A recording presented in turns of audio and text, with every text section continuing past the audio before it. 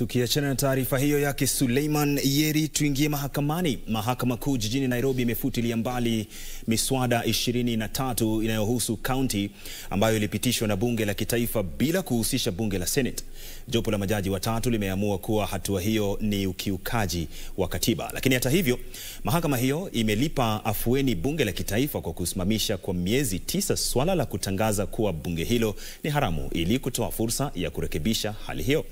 Bunge la Senate uh, lilikuwa limewasilisha kesi mahakamani kupinga uhalali wa miswada iliyopitishwa na bunge la kitaifa likidai kuwa miswada hiyo inahusu maeneo ya kaunti kwa njia ya moja kwa moja, na kwa hivyo michango ya seneti inahitajika jinsi ilivyoratibishwa kwenye sheria.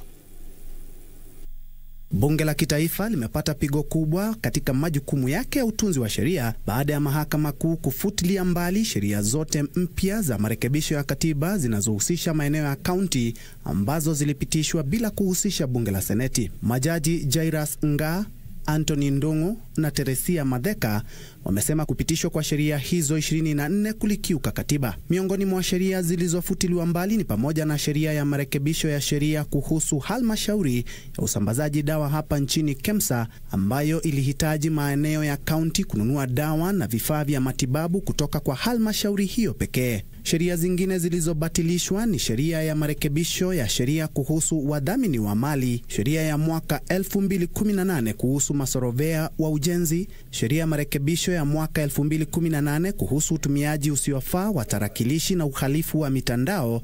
na sheria ya mwaka 2018 kuhusu marekebisho ya sheria mbalimbali, sheria ya marekebisho ya mwaka 2018 kuhusu ugavi wa pesa za hazina ya usawazishaji, sheria ya marekebisho nambari 6 ya mwaka 2018 kuhusu vyama vya akiba na mikopo, sheria ya marekebisho ya mwaka 2018 kuhusu huduma ya taifa kwa vijana, sheria ya marekebisho nambari 7 ya mwaka 2019 kuhusu michezo na sheria ya marekebisho ya mwaka 2018 kuhusu tume ya uwiano na utangamano wa taifa. Majaji hao aidha wameagiza mabunge yote mawili kuhusishwa katika kupitisha sheria zinazohusu ugatuzi na maeneo ya kaunti.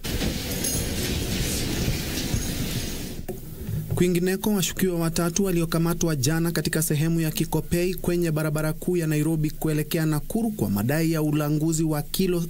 762 za bangi ya dhamani ya shilingi milioni 22 wameachiliwa kwa dhamana ya shilingi milioni 8 na dhamana mbadala ya shilingi milioni 4 pesa taslimu. Bonaventure Ambani, Mike Arito na Frederick Oduor walikanusha mashtaka hayo mbele ya hakimu mkuu mwandamizi Daniel Ndungi ambaye alitenga tarehe 5 Novemba mwaka huu kuwa siku ya kutajwa kwa kesi hiyo.